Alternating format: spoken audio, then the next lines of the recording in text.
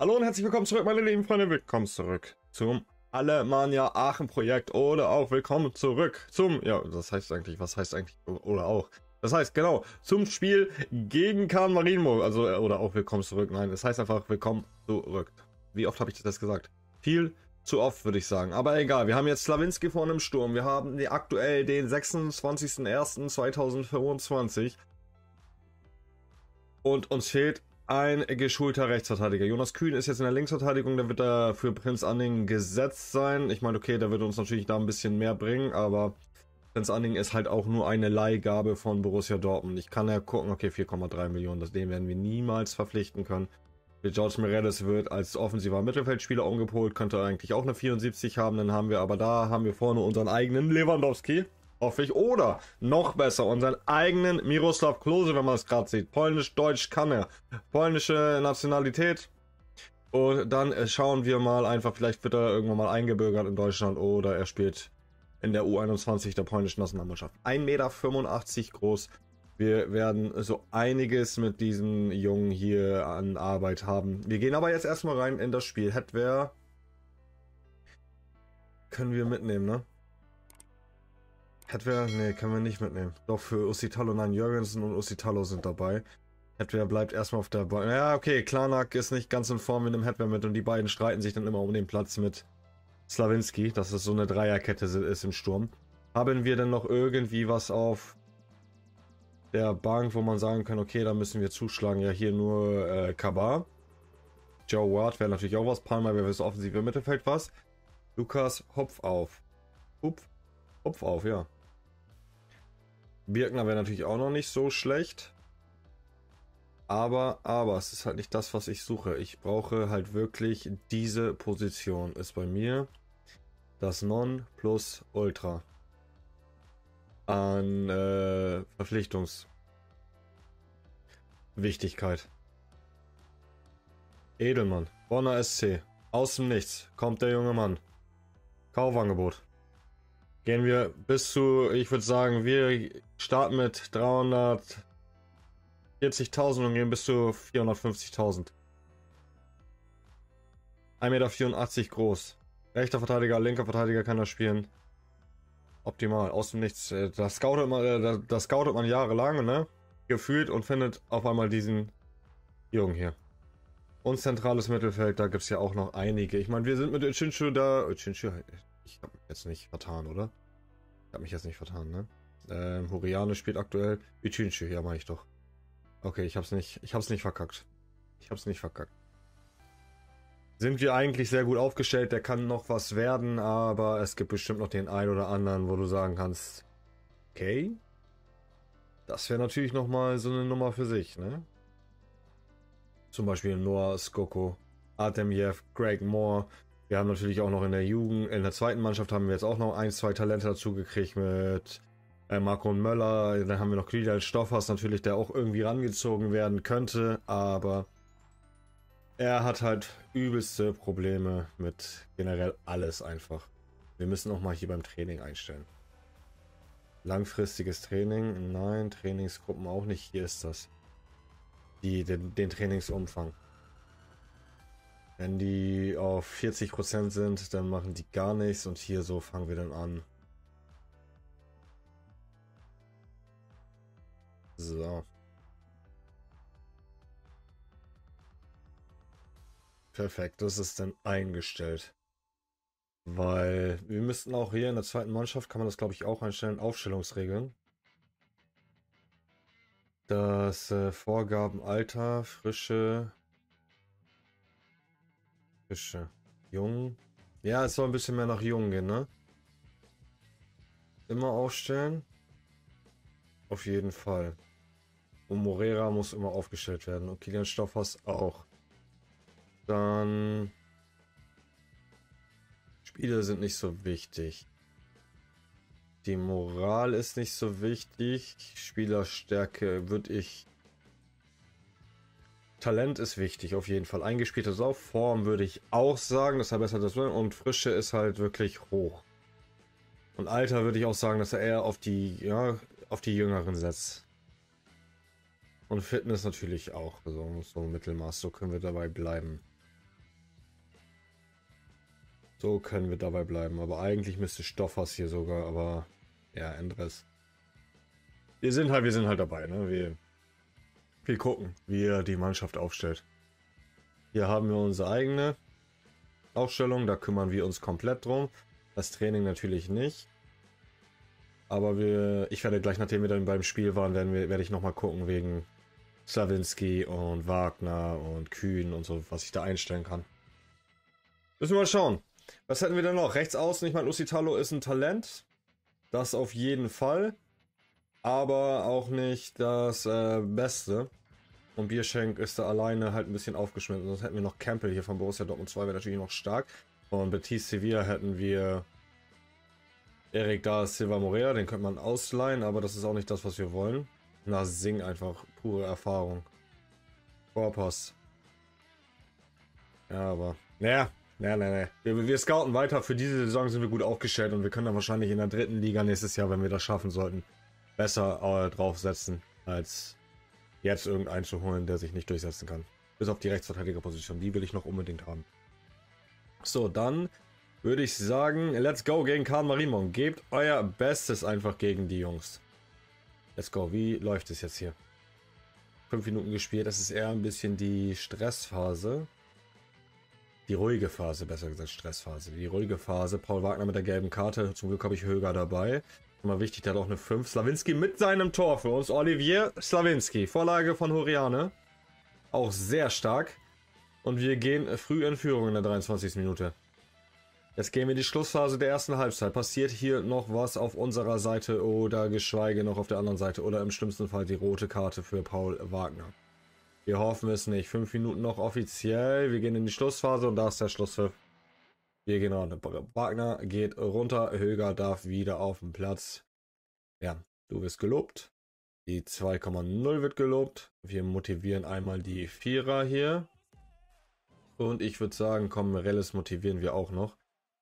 Und David Lell motivieren wir auch noch.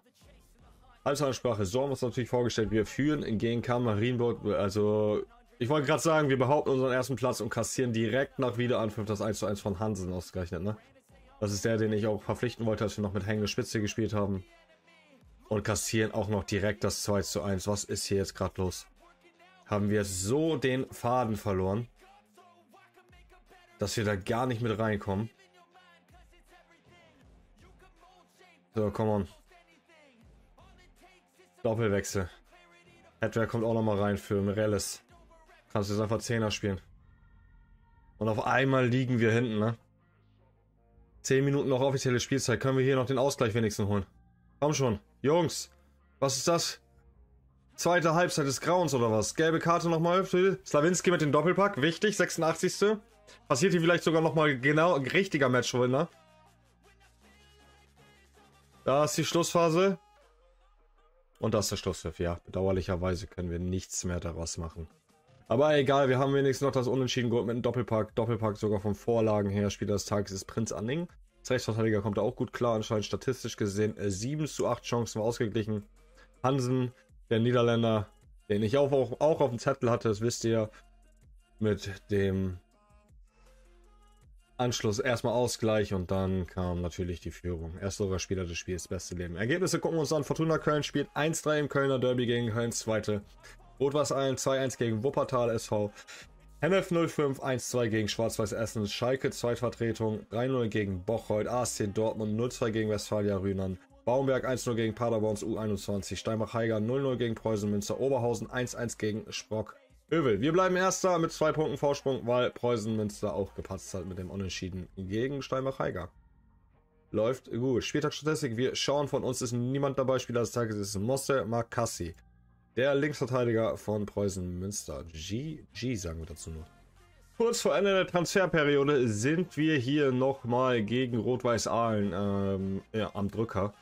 Aalen momentan, ja, 701er Stärke ist ein bisschen stärker als wir, ist aber in der Liga dafür definitiv um einiges von uns entfernt. 13 Punkte. Wir müssen auf jeden Fall schauen, wie wir das hier regeln. Die Mannschaft steht, hat wer, ja, Morelles, sie müssen alle ein bisschen reinkommen. Ich habe die Trainingsziele gerade von denen eingestellt.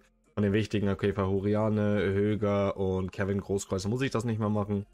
weil die können sich da großartig nicht mehr beweisen. Da werden vielleicht, äh, die werden einfach vom Training her spielen und ihre Form irgendwie halten. Aber dafür sind sie mir sonst zu alt, um da jetzt noch extra Trainingsziele hinzupacken. Wir gehen rein in die Partie. Gebt euer Bestes natürlich gegen Rot-Weiß Aalen von Anfang an. Machen wir direkt Stress, erste Minute. Aber leider nichts Zählbares. Können wir das hier machen? Rui auf jeden Fall auf der Gästeseite mit der gelben Karte in der neunten Minute. Früher gelbe Karte, das heißt, er muss sich zurückhalten. Und ich hoffe, es ist ein Innenverteidiger, weil das ist immer gut für uns. Aber Marco Cirillo mit dem 1 zu 0 für Rot-Weiß Aalen in der 20. Minute ist, ist kein besonders guter Start für uns in, in dieses Spiel. Besonders Tobias Kliesner hat auch nochmal Bock. 10 Minuten später mit dem 2 zu 0 und wir stehen jetzt wirklich mit den Rücken zur Wand nach 30 Minuten. Kommen wir da nochmal ran. Bierschenk ist gar nicht im Game mit seiner 6,0.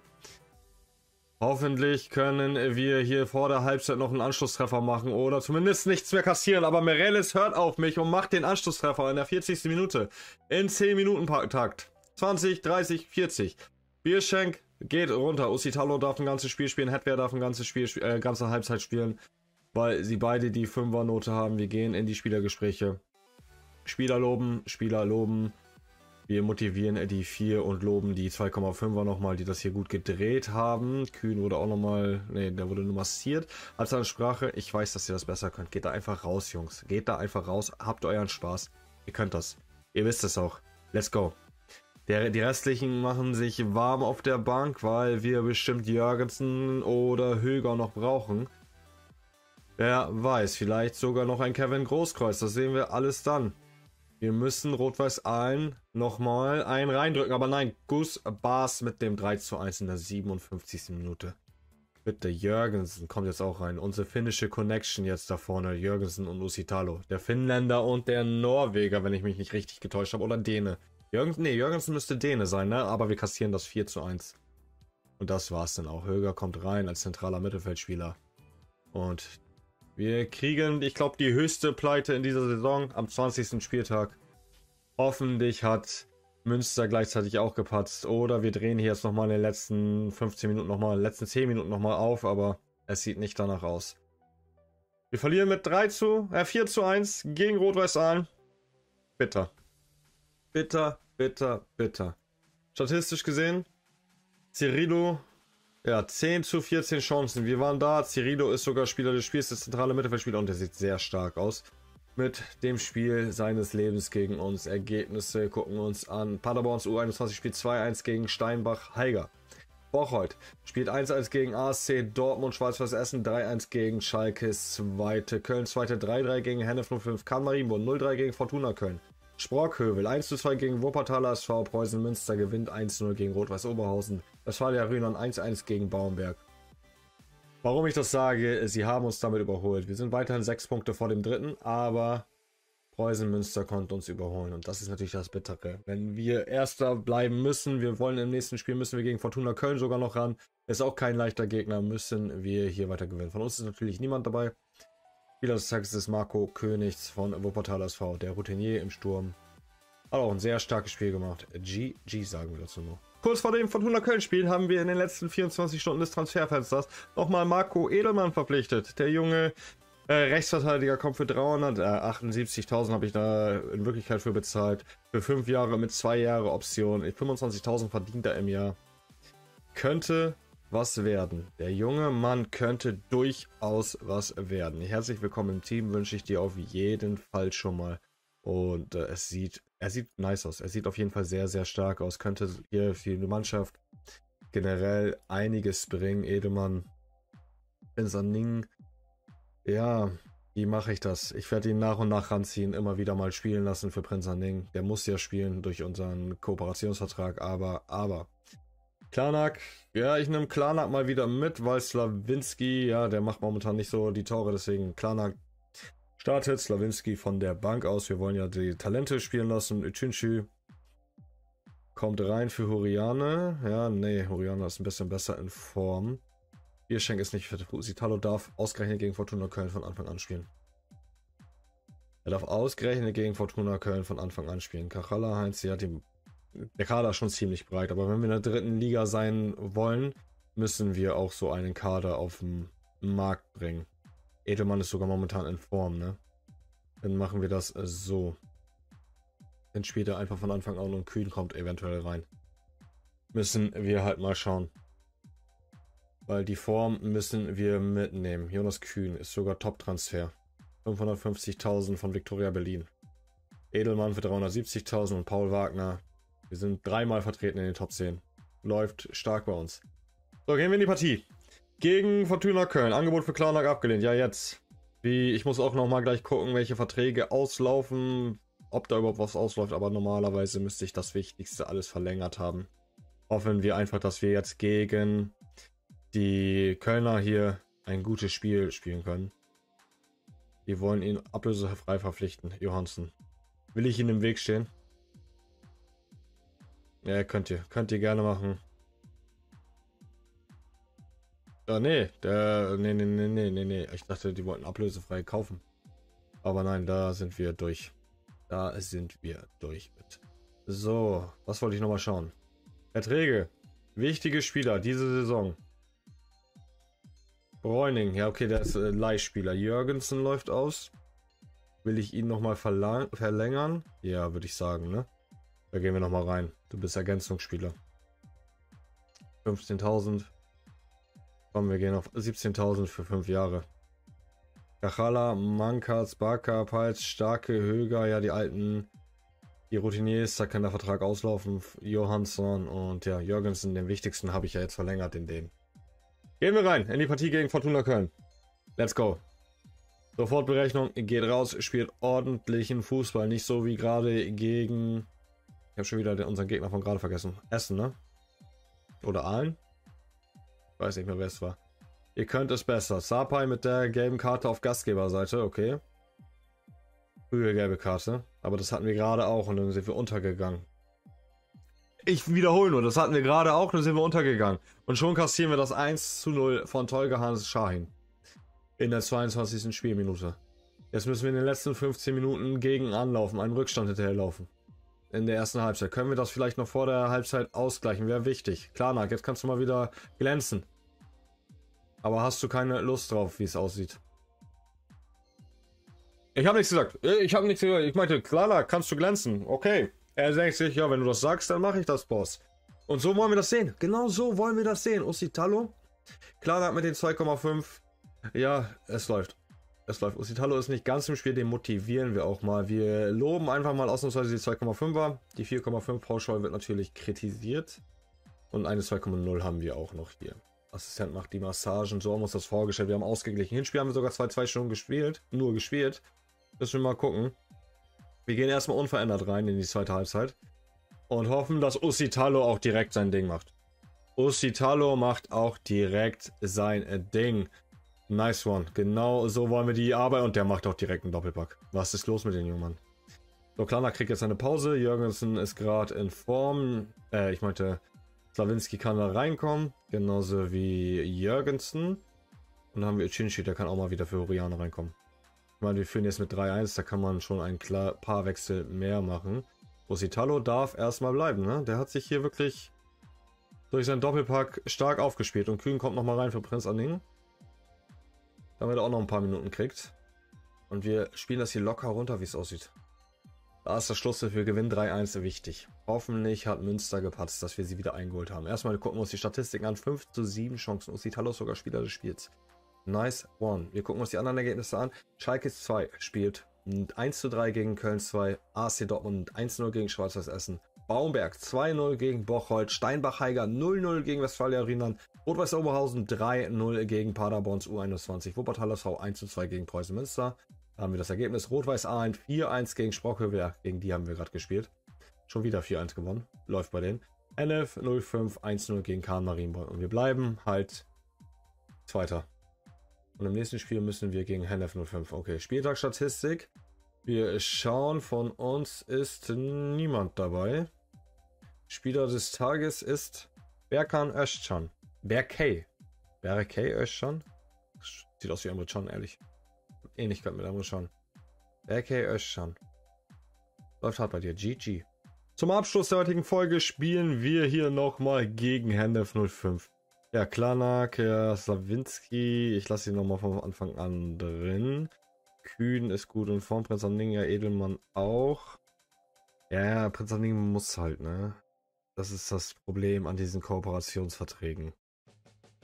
Spieler müssen, ausgeliehene Spieler müssen einen Anteil aller Ligaspiele passieren, 100%. Also sobald sie fit sind, müssen sie spielen. Hiervon habe ich ja leider keinen ausgeliehen, hier habe ich ja einen ausgeliehen. Und von denen kriege ich halt nur Geld, ne? Und da läuft auch der Vertrag aus. Müssen wir mal schauen, ob wir die Vertragsverlängerung anstreben können hier mit Dortmund. Weil Dortmund bis jetzt, äh, bis zur nächsten Liga, dritten Liga, ist optimal. Wir gehen rein. Gebt euer Bestes. Wir müssen wieder gewinnen. Wir dürfen nicht mal verlieren. Lisowski auf der Gästeseite mit der gelben Karte. Frühe gelbe Karte schon wieder. Und das ist natürlich bitter bei uns. Letzter Zeit ist das bitter für uns. So, aber diesmal nach 15 Minuten liegen wir noch nicht hinten. 20 Minuten sind gespielt. Und es ist ein Hin und Her, so wie ich sehe. Jetzt macht Hennef gerade ein bisschen Druck. Ich hoffe, wir können das gleich überwinden und zu unseren Guten wenden. So, wir gehen in die Schlussphase der ersten Halbzeit. Bis jetzt ist sie torlos. Die letzten 10 Minuten laufen. Es passiert nicht wirklich was. Und da ist der Abpfiff. Es gab nur die gelbe Karte. Wir haben eine 1,5, die wird gelobt. Eine 2,0, die wird gelobt. Noch eine 2,0, die wird gelobt.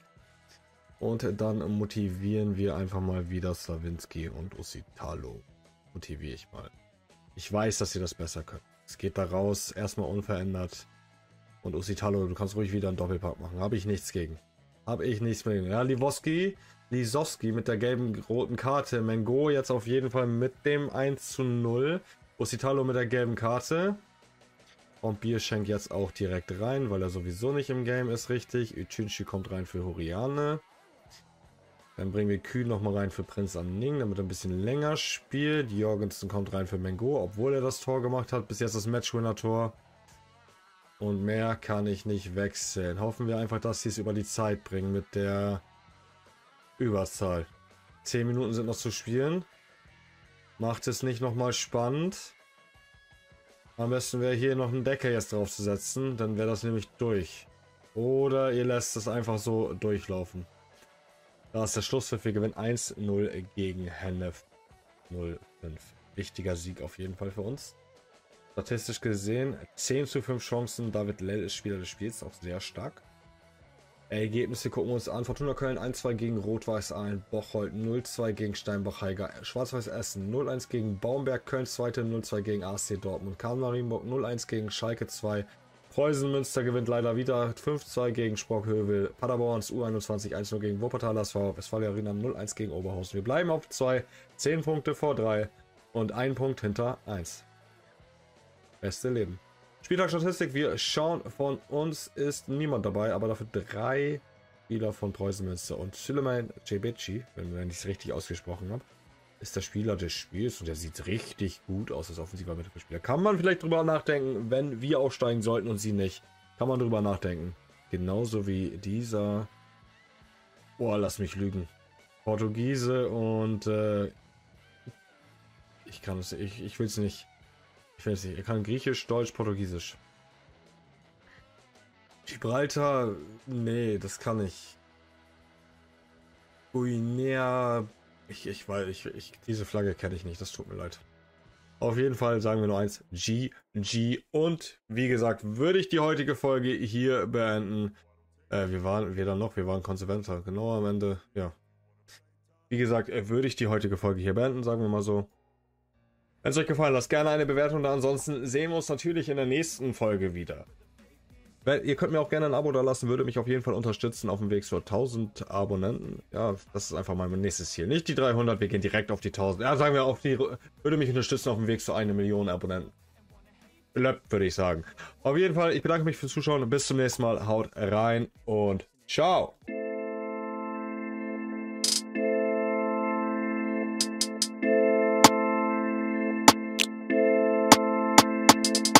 Ich weiß, dass sie wissen, ja, ich habe keine Zeit. Mache immer weiter, denn ich fühle diesen Vibe. Viele wollen connecten, weil sie wissen, wer ich bin. Aber ich hab kein Interesse, weil ich nicht weiß, wer sie sind. Aber lass